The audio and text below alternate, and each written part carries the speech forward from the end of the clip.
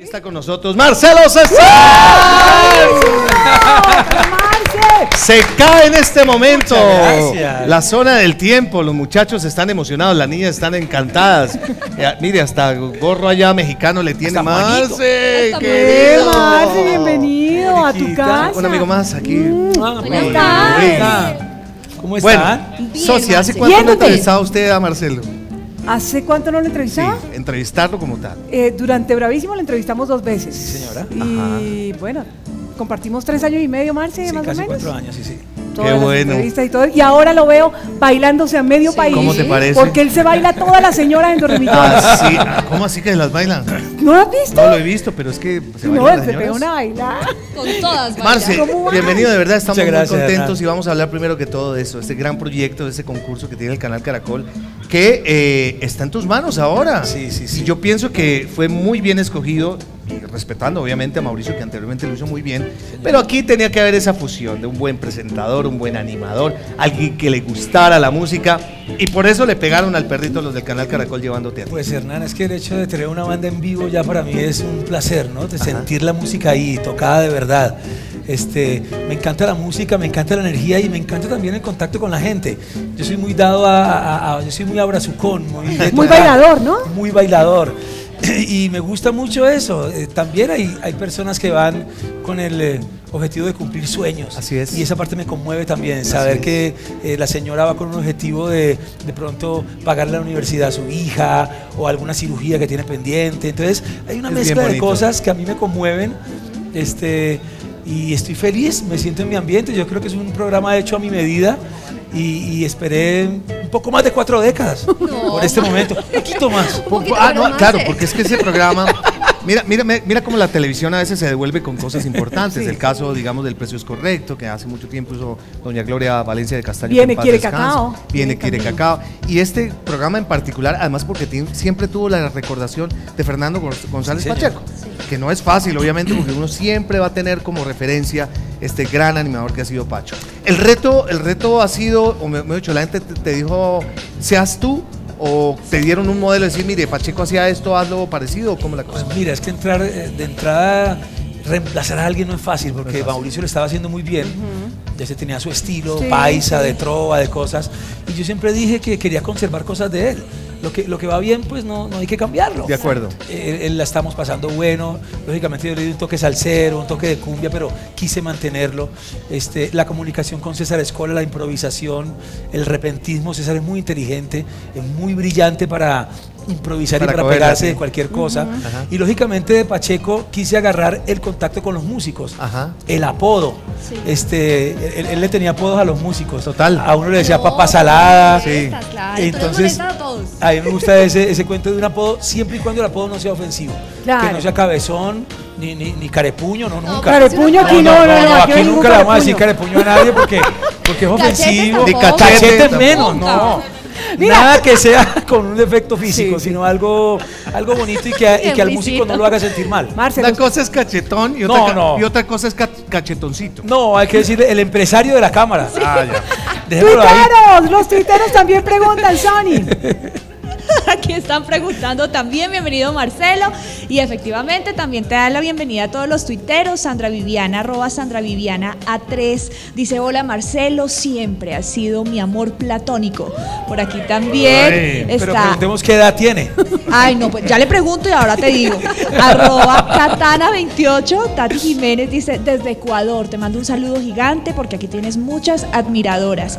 Y hay preguntas, hay muchas preguntas. Por aquí está Evelyn Muñoz, arroba Evelincita05, dice, pregunta para Marcelo, ¿cómo ha sido tu vida desde que conociste a Dios? ¿Cuál ha sido el mayor cambio de tu vida desde que lo conociste? Ah, me encanta esa pregunta porque es Qué que buen hablar, testimonio tiene, hablar Marce. de Dios a veces es como raro, ¿no? Sí, como que sí, la sí. gente se, se pone, ay, este ahora es monotemático, eso habla, habla de Dios. Mi contacto con Dios fue hace un año y siete meses ¿Por qué? porque toqué fondo. Y muchas veces Dios aprovecha esos Y, momentos. y el tocar fondo fue que, Marcelo, de pronto te encontraste ante la vida, circunstancias personales, profesionales, Sí. decir, Primero en algo me ruina, falta. En la ruina económica. Había despilfarrado mucha cantidad de dinero. Sí. Mal de salud. No Sí. me había cuidado, había abusado de mi cuerpo.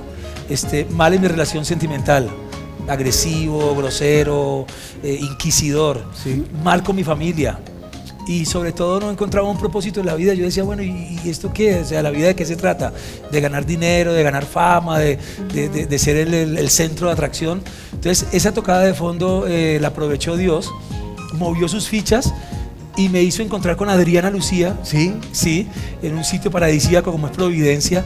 Y allá fue el, el- el momento. Yo la vi leyendo la Biblia. Yo le dije, oye, ¿qué estás haciendo? Me dijo, no, mi devocional. Yo le dije, ¿eso qué es?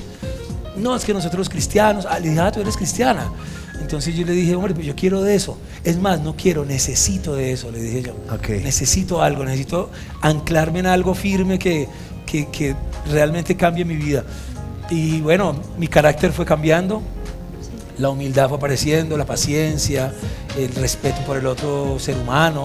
Además que en este negocio, Marcelo, y hay que decirlo con toda certeza, ¿no? La fama eh, es complicada Sí. y la fama tiene primera persona, que es yo, Sí, porque sí, la sí. gente y demás, Ego. el ego y demás, pero me alegra muchísimo e incluso Mónica nos estaba contando, Marcelo, que tiene un muy buen proyecto, como es melómano, Ah, como sí. le encanta la música, alabanza. tiene un tema maravilloso de alabanza, ¿cómo es la Sí, historia? estamos ahorita con, eh, digamos que el cristianismo está muy dividido. Las iglesias, cada una anda por su lado. eh, se habla mal una iglesia de la otra, no vengan para acá, se, Eso no está se bien. pelean por los El feligreses. tema no es de religión, ¿no? No, es un tema de relación, de cambio de vida, de cambio de hábitos y de respeto por el otro ser humano. Varias iglesias teníamos va- varios eh, músicos que no estábamos en, el- en- en la alabanza de nuestra iglesia, decíamos, hombre, ¿cómo hago yo para cantarle a Dios si aquí no, no puedo? No? Eh, hay, hay que, hay ciertos requisitos, hay ciertas cosas, hay roscas también. Sí. Eh, y entonces nos juntamos varios melómanos, entre ellos Omar Medina, Aníbal Rivero, que fue Por guitarrista supuesto, de, de claro, Carlos Vives sí. mucho tiempo, Aníbal. puertorriqueño. Gran pastor hoy en día. Exactamente. Y dijimos, bueno, pero ¿qué hacemos nosotros para, para provocar algo? Y nos creamos 100% adoradores, que es una convocatoria, Paola, donde cualquier persona que tenga una canción de alabanza puede entrar a nuestra página. Pero es nacional, es local. Es nacional, es nacional. La página es www.100%adoradores.com. El 100% es en letras. en letras, ok. Sí. Entran ahí, se inscriben, es completamente gratis, llenan un formulario y el primero de septiembre es el día donde un jurado, donde va a estar yo, Aníbal, Omar, este, vamos a decidir cuáles son las 10 canciones que nos llevan a la presencia de Dios. bueno. Vamos a grabar un ¿Tú ya le escribiste una Bueno. canción a Dios? Sí, yo ya le escribí una Ay, canción a canta, Dios. canta algo, Marta. Se llama eh, My Lord. My así. Lord, dice. Como cosa rara es un reggae. Ok. Ah, ¿cierto? sí. Ustedes saben que me gusta el reggae. Sí, sí, sí. Y hay un pedacito, de- es la historia de mi, de- de- de mi vida cristiana y dice, tú me sacaste de la vida mala, me rescataste de la oscuridad, tú sembraste en mí la semilla de la esperanza y la sinceridad. Eh, Señor, te, te amo, Señor. ¡Qué, I love you, my Lord. Es un qué bonito! Mientras Sonia, eh, Sí. tú, tú- ¿qué vas a Yo tengo un regalito, un comer Mientras lo, delicioso. lo entregas, eh, Sonia, tenemos trino, ¿verdad? Tenemos trino y tenemos respuesta también de Sandra Viviana. A ver. Dice, solo 35 añitos. Ah, dice. bueno, no. Porque ¿cuál es tu target ahora, Marce? Mi charge ahora está, bueno, antes, antes las adolescentes se, se, se jalaban los pelos, ahora me dicen, mi abuela te ama. Ay, no, ma. Bueno, yo también las amo a las abuelitas. También, claro. Sony, ¿cuál es la pregunta? ¿Hay tuitero que está preguntando, Sony? Está preguntando y también hay saludo, dice Darwin Castro, arroba Darwin Castro 17, el mejor presentador de Caracol TV, Marcelo Cezán y Lorena Neira, dice, actuar, cantar o presentar, ¿cuál si de elegir se trata? Uy, pues no sé. Es una pregunta difícil, ¿no? Pero digamos que yo... Es una pregunta Es difícil. una pregunta muy difícil, ¿viste? Pero, pero en este momento estoy encantado con la presentación. Es un trabajo relajado, puedo ser yo mismo, este, la paso bien, los horarios son un poco más flexibles, puedo tener vida, porque a veces la actuada como que te roba un poco, te seca un poco.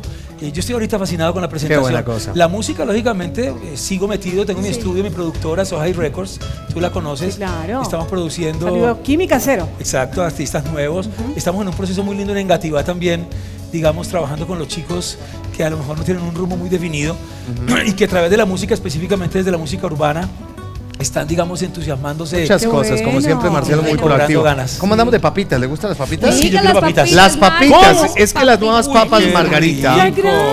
Las nuevas Uy, papas Margarita sabor a pollo asado Ah. tienen el auténtico sabor de pollo asado fresco, crocante y jugoso No. que tanto nos gusta. Y si a la brasa roja le gusta, a ti te van a encantar. Este meses, ¿no? En Uy. Marce. Y en programa no hemos hablado de. TV. De Día TV no hemos hablado, solo dos remillones. Día TV también te vemos muy bien con Paula compartiendo. Sí. Pues ahí está, pendientes de toda la vida de Marce. Marce, qué rico En tenerte. Día TV tenemos un magazine muy al estilo de Bravísimo, ¿cierto? Es una alianza entre Casa Editorial del Tiempo justamente y lo que ahora se llama Claro. Sí. Y estamos ahí también poniendo un estilo, un programa que, que siempre quisimos eh, que tuviera un propósito, que le sirviera al televidente. Qué bueno. No solamente que se entretuviera, la pasara bien, sino que también aprendiera cositas.